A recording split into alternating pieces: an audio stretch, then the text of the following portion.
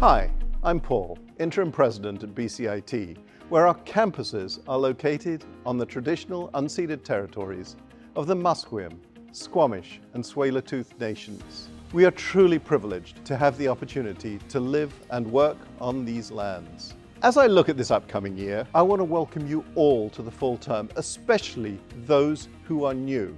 I've been lucky enough to be part of this community for more than 16 years and over that time I've had the opportunity to meet many students, faculty, staff and alumni and have heard their stories. Stories of how BCIT has transformed their lives. It is honestly these stories and the exceptional people at BCIT that inspire me to come to work each day.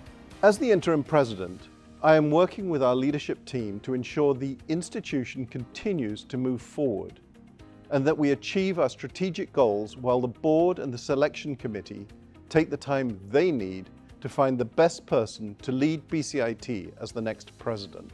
My focus is supporting the community to advance BCIT's priorities. Priorities of delivering new and innovative learning opportunities that support the strategic workforce development of the province and meeting our commitments to truth and reconciliation, sustainability, and of course, equity, diversity, and inclusion. My job is to convene leaders and experts from across BCIT and clear the path so that faculty and staff can achieve what we have set out to do. I know we will also need to be creative and resourceful so that we can complete the final stages of our strategic plan and make BCIT the community we all want it to be. In summary, I want to ensure that BCIT continues to deliver transformational learning and teaching opportunities and that it's in great shape when our next president is appointed.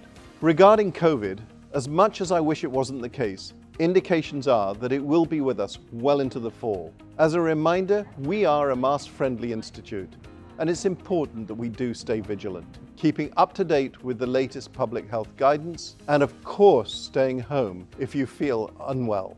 Turning to what's new, I'm excited that in a few short days, this wonderful new Health Sciences Centre will come to life with students and mark a new era for BCIT. This and the recently announced Concert Property Centre for Trades and Technology set a new tone and I am very excited about the future for BCIT. The design of the Health Sciences Centre was guided with input from expert faculty. This is the first BCIT building where there has been authentic consultation with our Indigenous leaders. From the design to the use of materials and colour palettes, there has been full inclusion to reflect and honour the land and territory where we are located.